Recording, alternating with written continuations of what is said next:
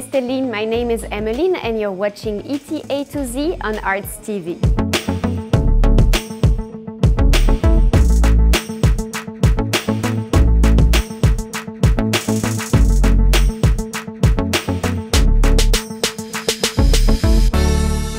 Have you ever heard of Gabi? It's a very comfy blanket that almost every Ethiopian has at home. The Gabi showcases the traditional skills and knowledge of the country's craftsmen and women. Today, I'm at the Triocraft workshop and I'm going to try and learn how to weave with one expert. Let's go!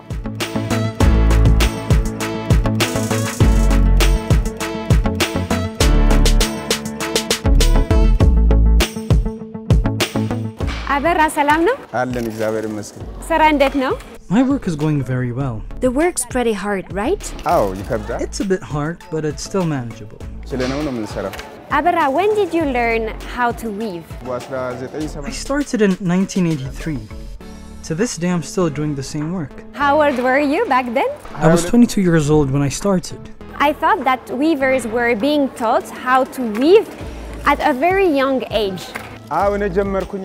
Yes, I started weaving a bit late. Usually they start at 17 or 18 or 19 or sometimes even at 12 depending on how quickly they learn. It depends on how quickly they learn. There are some that are gifted. Does that mean that children won't go to school? They do. They learn weaving in their spare time. They come back from school and practice with their family members or kids that already know how to weave. Since we want to show the world how we weave, our parents teach us from a very young age. ሀገራችን እውቀት ለማሳወቅ ስለምንፈልግ ከህፃነታችን እንድንማር ይፈልጋሉ አባቶቻችን። I've always been told that um, weavers uh, mostly come from southern Ethiopia. አዎ ከደቡብ ነው። Yes, they come from the south. They have knowledge in handcraft. They're very gifted. They have clever minds. They can do things that machines can't. If you bring us a sample of a design, we won't forget it. It's a natural gift. It's the kind of talent you are given by God. We use our God given abilities to weave. Where do you come from? I come from the south. Usually men are the ones who are weaving but the cleaning and the spinning of the cotton are women's tasks basically. The women spin the cotton because they're very good at it. This isn't to make them feel inferior or anything like that. It is because they have the talent for it that they spin and clean the cotton. The men can learn to do the same work, but the women already know how to do it. Some men spin the cotton, and there are some women who weave. These people have more knowledge than most. You can do it too if you learn how. There's nothing you can't learn how to do, as you can see. The women spin the cotton and bring it to the men because they're good at it. Do you know how to spin cotton? If they show me how to do it, then I can. I mostly have time for weaving, but if I had more time, I would like to learn how to spin cotton. It's knowledge after all. Nah, yeah. Is weaving a hard task to do?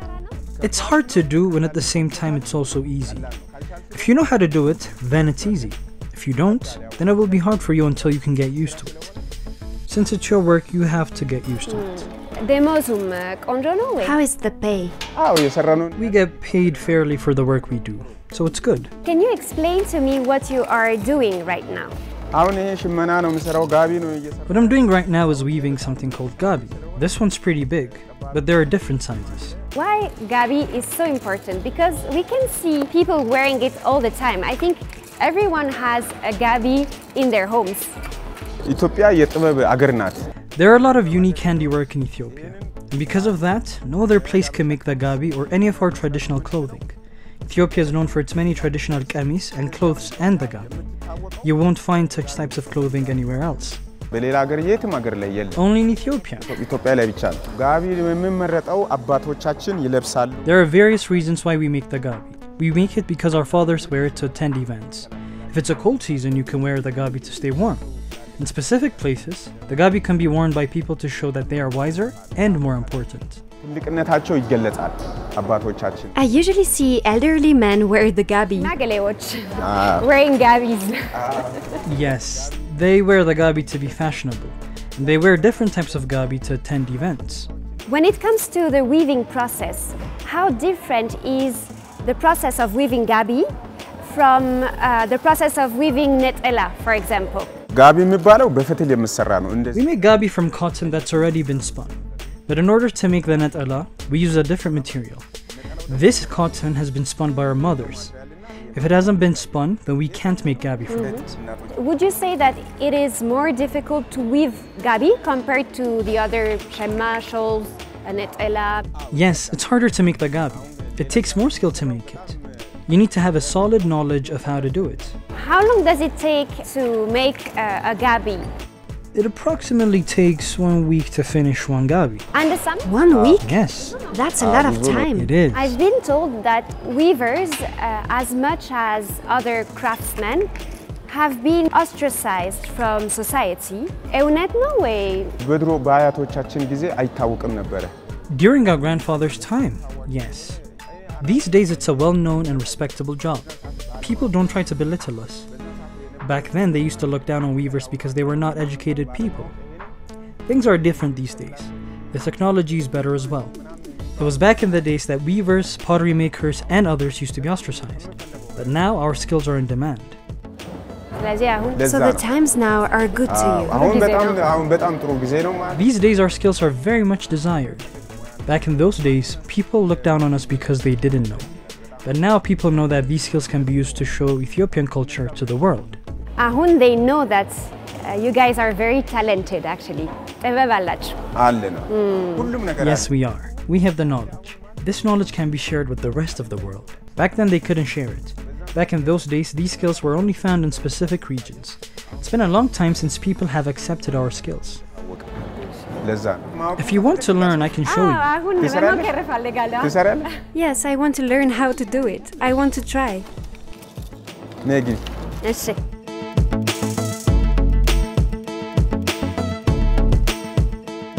Step on it.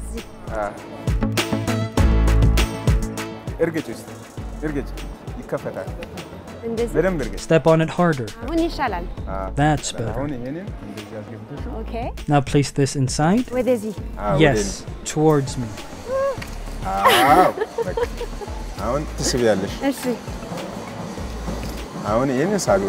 now pull on it towards you.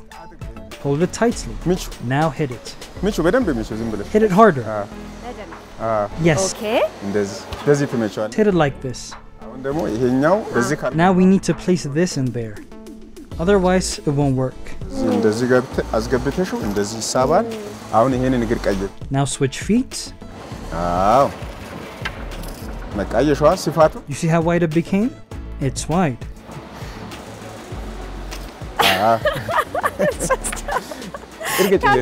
it's difficult though. It won't be hard once you get used to it.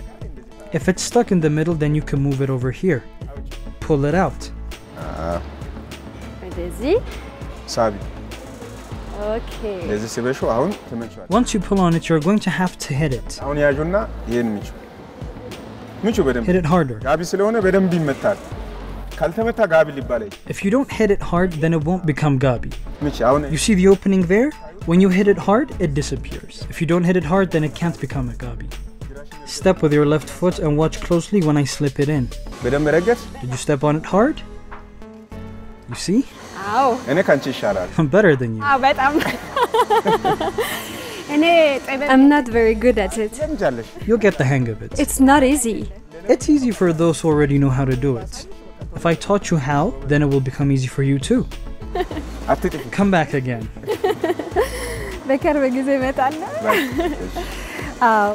We'll work together again one day. I had an amazing time. Thank you so much. It would have been better if you worked on it all day. Sorry, I would have loved to, but I don't have enough time.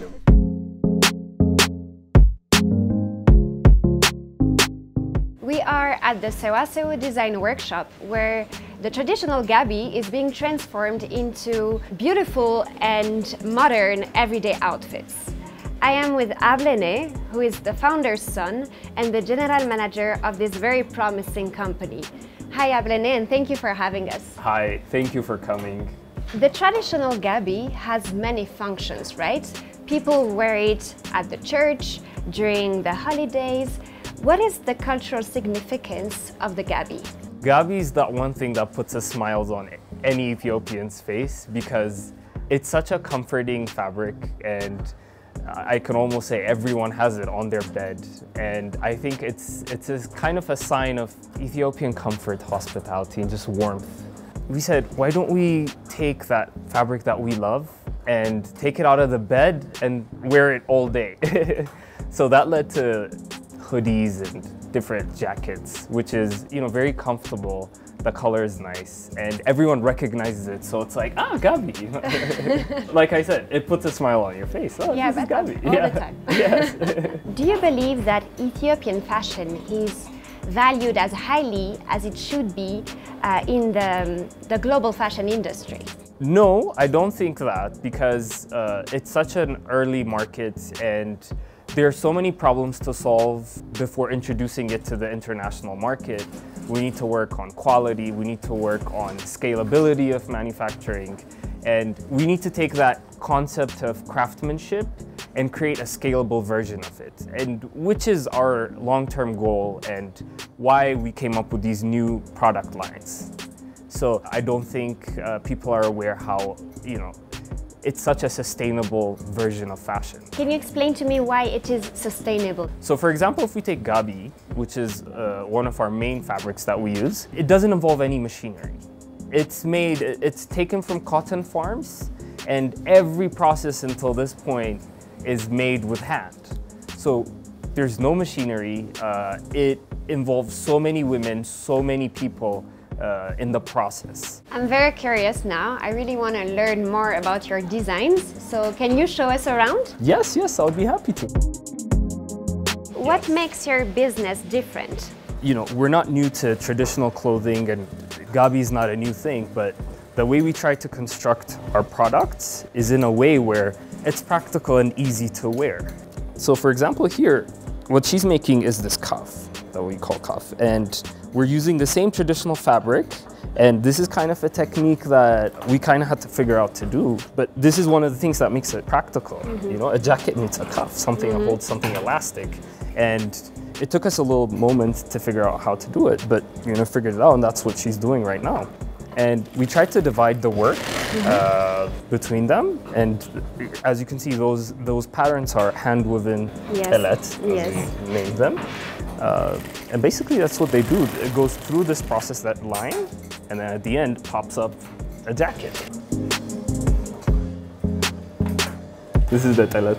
Oh. Yes, and we photo it and we So- sew it on top of the, the, the fabric. The biggest reason we need to be efficient and effective is that in the global market, it's a very competitive industry. And at the end of the day, if we're saying we want to sell our clothes to the international market, we're competing with China, we're competing with big manufacturers, and they have a very scalable version of uh, fashion. And China has already started mimicking some of the Ethiopian designs, right? Yes, exactly. And you know, all the telet that we use, you can actually find a Chinese version of it. And that's that's very sad to me. And that's you know, that's why I push efficiency, effectiveness, and scalability. Is because at the end of the day, people want to pay less. People want something that's available. So we need to make it More affordable? more affordable and then we need to make it more available. Hmm. And how we do that is creating a scalable business, something big, not just small traditional shops here and there. No, we need to have a garment that has like 5,000 employees producing Ethiopian garments. And that's the only way that we can compete in the international market and have a chance to have a scalable version of this. So scalability is key. Thank you, Avelene, for opening your doors to us. Thank you again. Thank you for coming. I hope you guys enjoyed this episode of ET A to Z. See you all next time. Eh, this is called مورورة. You can't weave without this. It's made from wood. It's used to make gabi, netela, kamis, and other traditional clothes. You can't work without it.